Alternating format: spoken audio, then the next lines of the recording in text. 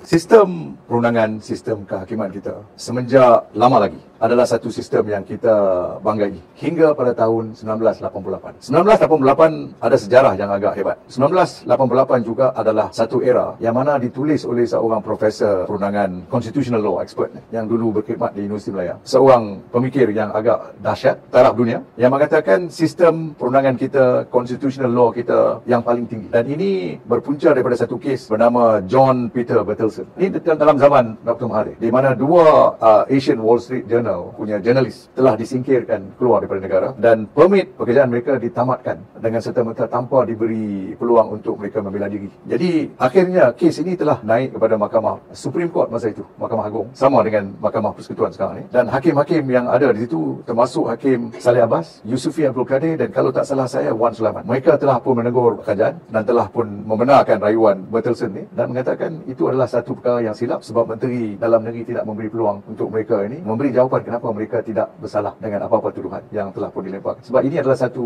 kebenaran ataupun permit yang sudah sudah ada is a revocation. Jadi kes itu dikatakan adalah the highlight of our judicial system. Sistem kehakiman yang paling tinggi world standard at least sama dengan standard-standard yang dipamerkan oleh negara-negara yang lebih maju daripada kita di Commonwealth dan juga di dunia. Tapi dalam tahun 88 juga kita telah melihat di mana Lord President iaitu Saleh Abbas sendiri telah pun disingkirkan dan di impeachment proses telah dijalankan. Dan beliau dan kalau tak salah saya lagi dua hakim Mahkamah Agung disingkirkan. Dan daripada itu juga kita lihat kes UMNO 11 di mana kita telah merayu bahawa UMNO tidak harus sebagai satu parti tidak harus diharamkan tetapi apa yang patut diharamkan ialah mesyuarat agung UMNO bukan parti itu. Dan bila rayuan itu tiba di Mahkamah Agung kita sudah jangka ini adalah satu perkara yang akan dimainkan daripada politik ke dalam badan kehakiman dan benar dengan kepercayaan kita kita kalah dengan begitu teruk. Itu telah pun mengurangkan kepercayaan ramai daripada orang-orang kita. In fact, I think the whole country. Seluruh negara yang sudah hilang kepercayaan dengan sistem kehakiman kita. Itu tahun 88. Daripada 88 hingga sekarang, dia macam pendulum. Dia turun naik, turun naik. Kita punya kepercayaan kepada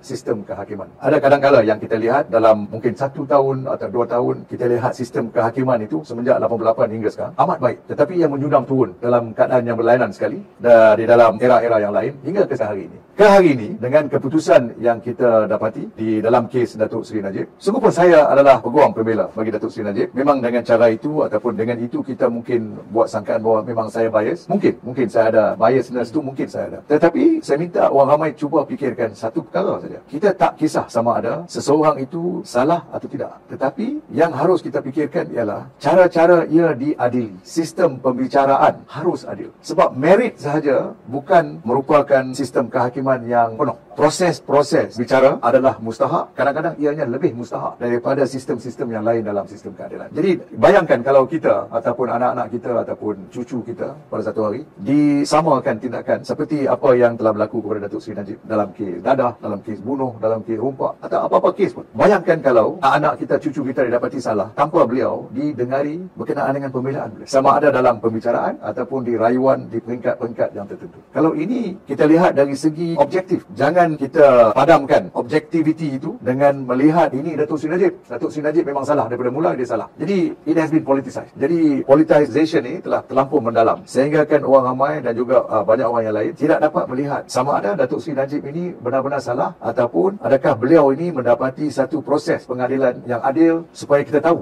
kita puas hati yang dia ini betul-betul salah. Sekarang setakat ini oleh sebab peringkat yang paling tinggi, kes dia itu tidak didengari langsung. Yang memburukkan lagi ialah kes beliau tidak didengari sebab peguam peguam uh, baru yang represent Datuk Seri Najib ini telah mengatakan beliau tidak sedia sebab beribu-ribu dokumen, beribu-ribu muka surat yang beliau harus baca dan kaji. Jadi beliau belum lagi bersedia. Oleh sebab beliau tak bersedia, kes itu harus ditundakan pada tarikh yang lain. Tetapi apa yang berlaku ialah the opposite. Datuk Seri Najib yang peguam tak boleh buat submission. Hakim Mahkamah Persekutuan pula minta pendakwa raya membuat submission, membuat hujah-hujah. Jadi soalan yang saya nak tanyakan ini ialah kenapa pendakwa raya diminta berhujah? Berhujah untuk apa? Sebab rayuan belum didengari. Jadi macam mana kita nak matikan rayuan dalam satu hujan daripada pendakwa raya. Walhal, rayuan daripada orang yang didapati salah itu belum lagi dikemukakan. Jadi ini adalah double jeopardy. Satu, tidak memberikan beliau peluang untuk berhujah sebab masa tidak mencukupi. Kedua, ialah dahlah tak dengar dia. Kita dengar pula lawan dia untuk memburukkan dia lagi. Jadi ini amat mengejutkan. Tak pernah saya lihat dalam mana-mana sistem di dalam dunia ini, lebih-lebih lagi di dalam Commonwealth. Saya tak pernah